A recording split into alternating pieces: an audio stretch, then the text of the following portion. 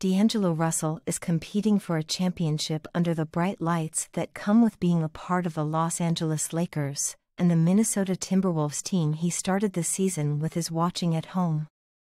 And he believes he is in a much better position in part because of the limitations in place with the Timberwolves. I felt like I was held back there, honestly, Russell said, per Sam Amick of The Athletic. I just kind of had to be the third option.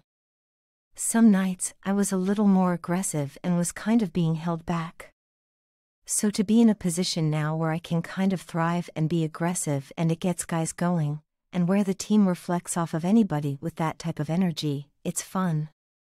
It should be noted Russell is a third option on this Lakers team as well since he is playing with LeBron James and Anthony Davis.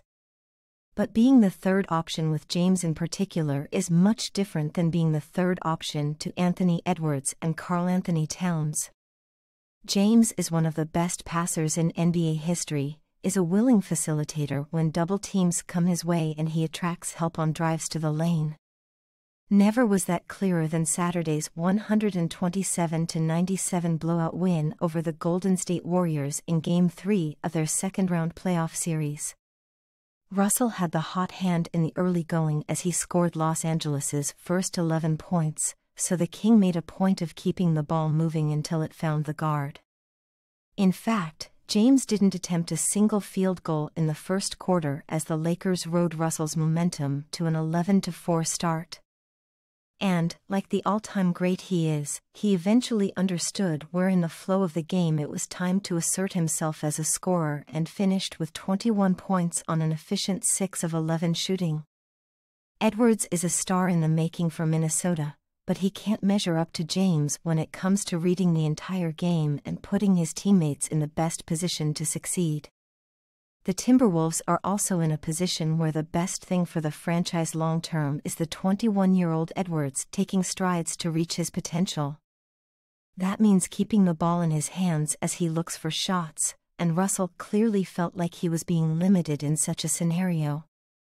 He even played in scrimmage games after practices with some of the Timberwolves who weren't getting as much playing time and explained why that was the case to Amick. Yeah, so I would play in that because I felt that my confidence was being taken away with the style that I was playing in. I'm a killer, man. I'm a bird that needs to fly, and I couldn't really fly there. They put me in a box that I was successful in. But I did that for confidence. I enjoy just playing, and I would play some of my best games in that run, because I didn't really have a rhythm in the real games. I had to kind of cater to guys. And respectfully, I was with it because we were winning. But I know what type of player I am.